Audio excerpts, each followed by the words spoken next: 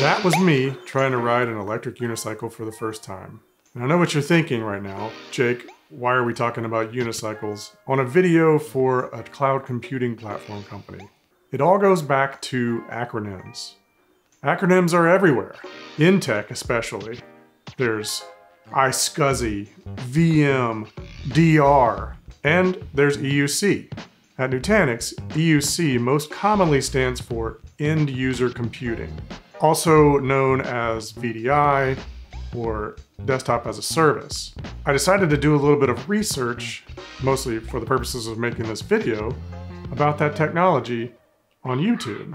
And I found that when I entered EUC in the search, that what came up was electric unicycles. It took a very long scroll to find a video that was about end user computing, which gave me an idea. What if the future of work was computing with EUC while riding an electric unicycle, also EUC. It would truly be a secure, mobile, work from anywhere solution. So I dug in a little deeper.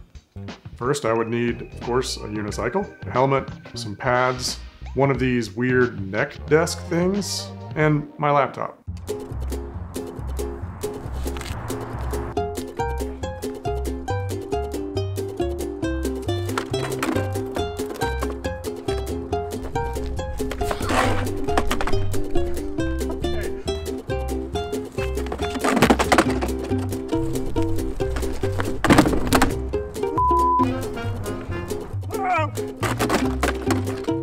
Okay, I've been trying to ride this thing for about a week now, and it is way harder than I thought it was gonna be.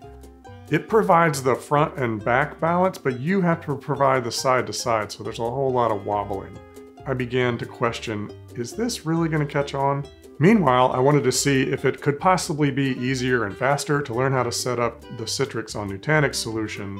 And to do that, I would need to find somebody who knew a lot more about virtual desktop infrastructure than I do.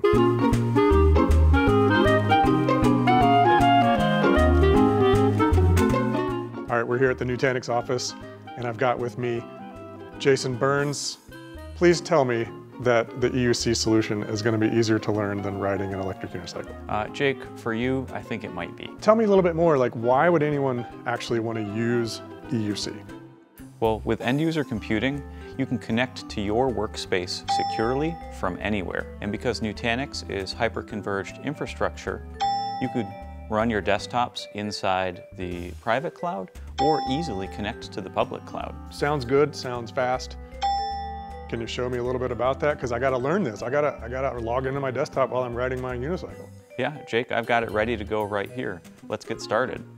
Great. So we'll log into our Prism element, which I already have running come into our settings and connect to the Citrix cloud, pasting in our secret keys that we've accessed from the Citrix console. Secrets, I like top secrets. This is connecting our Prism element cluster to the Citrix cloud. That was so fast. There's a little bit more. So we'll stand up some highly available connector appliances and then add this Prism element cluster to that cloud as an available resource.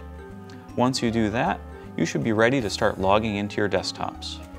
I can't wait to go try that out while I'm riding my electric unicycle. So it's time to raise the stakes with the neck desk. First, let me get my hotspot going, and then we're gonna see if I can connect to my Citrix workspace from here.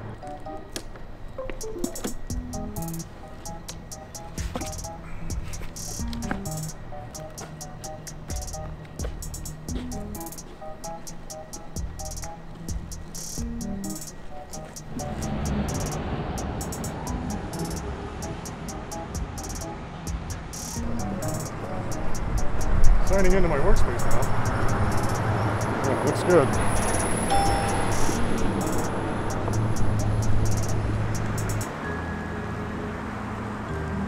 Miraculously, throughout this whole experiment, I only suffered a few minor scrapes and bruises. Is this to be the next wave of the future for work like I imagined? Well, probably not. However, I could send a secure email with my Citrix on Nutanix deployment. And as we saw, it's a lot quicker to deploy that thing than it is to try to learn how to ride a unicycle. Let us know in the comments if you'd like to see any more wacky tech combos like this.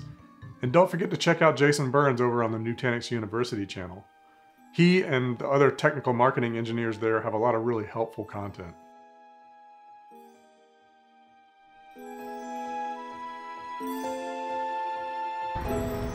I haven't seen that email from you yet. Which one?